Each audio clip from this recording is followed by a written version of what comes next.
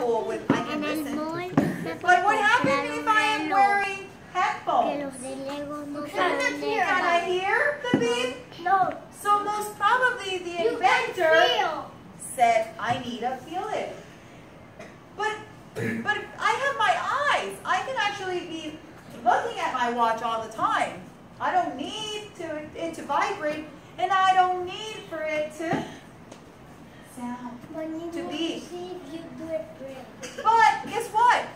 We we don't want to keep our eyes on the watch.